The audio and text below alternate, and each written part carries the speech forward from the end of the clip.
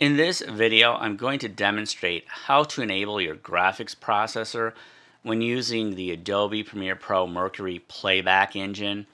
I want to let people know that the NVIDIA Shadowplay software has a bug in it right now, so you're not going to see my mouse cursor, but you should be able to learn quite a lot from this tutorial.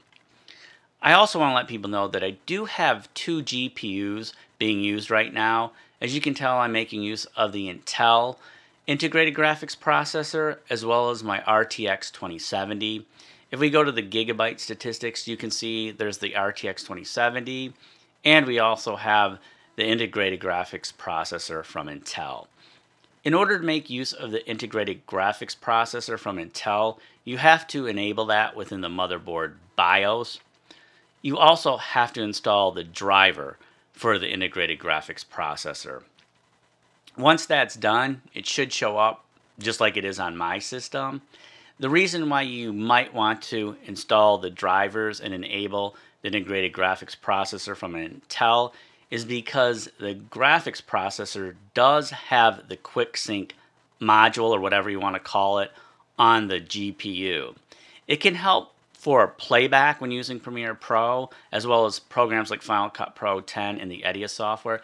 It can also help for rendering if it's H.264. You'll see what I mean in just a minute. Right now I'm going to demonstrate how to enable your graphics processor when using Adobe Premiere Pro's Mercury Playback Engine.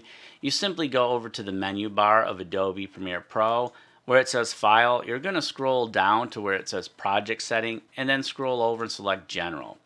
Here we see that Mercury Playback Engine GPU acceleration using CUDA is already selected. That is exactly what I want. If you have an AMD graphics processor, you might have a little bit different options. I have the option to use OpenCL. I don't want to enable the OpenCL because it'll be trying to use my integrated graphics processor, the Intel integrated graphics processor.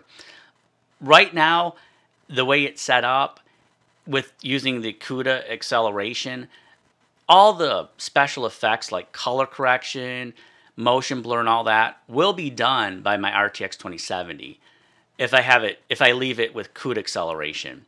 The only thing the integrated graphics processor is going to do is help encode and decode H.264 video. You'll see what I mean in just a second. I can also opt to use Mercury Playback Engine software only. If you didn't have any type of graphics processor, this would be your only option. I like the way it's set up, so I'm going to hit cancel. And I hope that made sense to people. If not, it might after I do the demonstration. This is H.264 at 4K. I have full resolution enabled. I also have high quality playback enabled. So if I hit play, we'll look at the statistics. Let me bring up all the statistics really quick. As you can tell, the CPU is not being used hardly at all. It's only being used at like 10, 6%, even though we're starting to get more layers.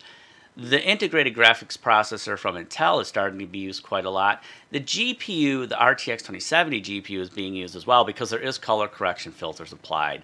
Plus, it's doing the rasterizing of the picture-in-picture. -picture the integrated graphics processor is only doing the encoding and decoding. So you can make use of your CPU, your integrated graphics processor, and your dedicated graphics card when using Premiere Pro.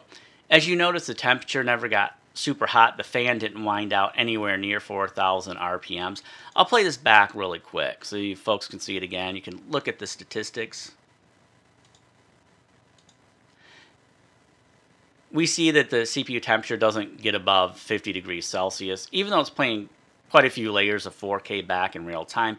H.264 is kind of hard to play back, but as I stated, the CPU is not really working all that hard in my system. It's the integrated graphics processor that's used more than anything else, and of course my RTX 2070 is being used quite a lot. So I hope people can understand why it's useful to have the Intel QuickSync. However, I'm going to select the Red 1 video codec, and you're going to see a big difference.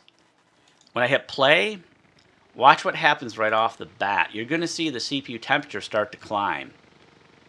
It's already at 75 degrees Celsius. The fan is winding out. And that's because the Intel QuickSync only helps when encoding and decoding H.264 video. It's not going to help play back the Blackmagic Design RAW video files or any other type of video file that isn't H.264. Obviously, MPEG 4 and AVC HD make use of H.264, so it's a handy feature to have for a lot of people. It's not going to be useful for everybody though. But I want people to see that the CPUs really got pegged. The integrated graphics processor isn't being used at all when playing back the Red One video codec. To make use of Intel's QuickSync when rendering, you simply go to the Adobe Premiere Pro menu bar, you go to File, you go to Export and select Media. In the Video tab, you'll scroll down till you see Hardware Encoding. This will make use of Intel's QuickSync. If you notice, you only have one parameter that you can change. If you opt to use CPU encoding, software encoding means you're using the CPU, now you have two parameters you can change. I want to let people know using the hardware encoding does produce a pretty good image. You just don't have quite as much control as if you used the CPU. But that's really all there is to it.